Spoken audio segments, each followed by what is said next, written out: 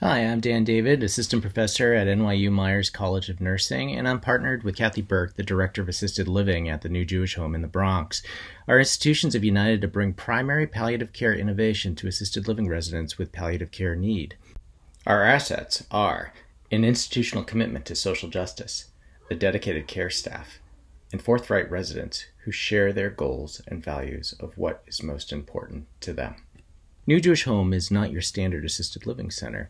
Most residents seek to overcome social determinants of health in order to live modest, dignified lives with support for their functional and healthcare needs.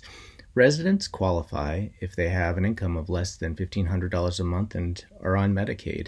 Half are black, 40% are Latinx, and one in five have a history of homelessness.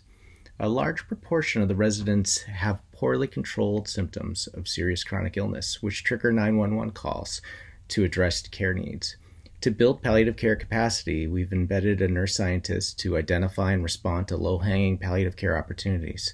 Our initial work centered on advanced care planning documentation, symptom assessment, and integration with primary care.